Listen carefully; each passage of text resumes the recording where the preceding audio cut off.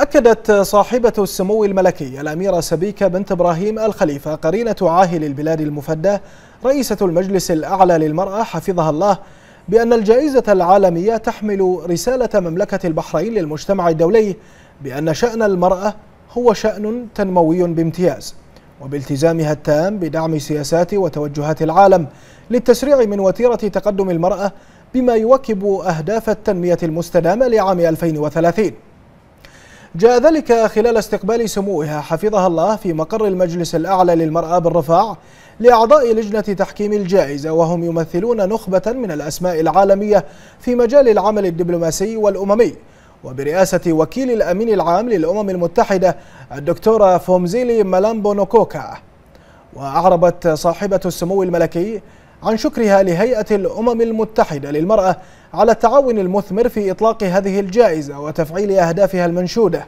كما ثمنت سموها الجهود التي يبذلها أعضاء لجنة تحكيم الجائزة وفريق العمل بالأمم المتحدة للمرأة في تلقي المشاركات وتقييمها وفقا لمعايير الجائزة وتقديرها لمستويات الدقة والحيادية التي يلتزم بها الفريق المسؤول. مشيدة حفظها الله بما تم تنفيذه من برامج وخطط للتعريف بالجائزة على المستوى الدولي والذي أدى إلى بلوغ عدد المشاركين فيها إلى حوالي 1880 مشاركة.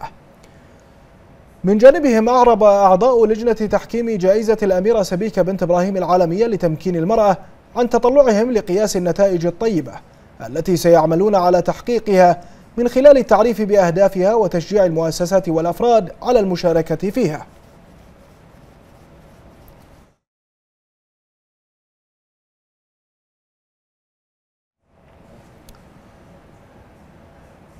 وأكد أعضاء لجنة تحكيم الجائزة بأن هذه الجائزة ستكون خير أداة للترويج للممارسات الناجحة التي تعمل على تعزيز التوازن بين الجنسين.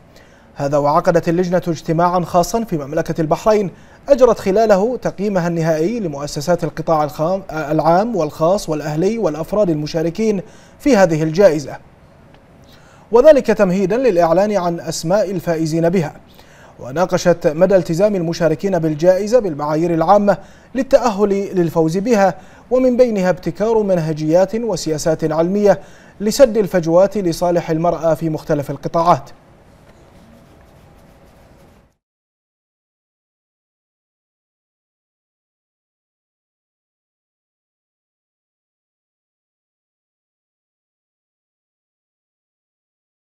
These are awards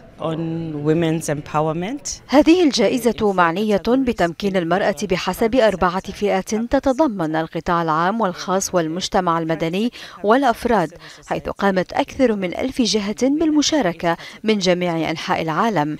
تقع أهمية هذه الجائزة في كونها إحدى المبادرات الهامة لتمكين المرأة وتهدف إلى تشجيع المجتمعات والنساء بشكل خاص.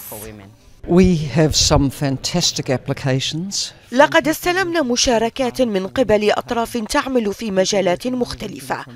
أعتقد أن مبادرات البحرين خصوصا ما يقوم به المجلس الأعلى للمرأة هي جهود هامة حيث نرى اليوم بأن هنالك نساء بحرينيات تشغلن مناصب ريادية.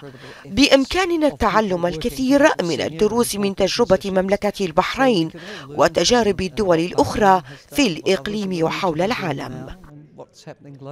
هناك أربع جوائز كل ثلاث سنوات. جائزة للقطاع العام جائزة للقطاع الخاص جائزة للمجتمع المدني جائزة للأفراد. ونحن نأمل أن يؤدي دور الجائزة إلى تحريك المياه الراكدة في المنطقة العربية. ونثمن كثيرا لسمو الشيخة سبيك هذه الفكرة.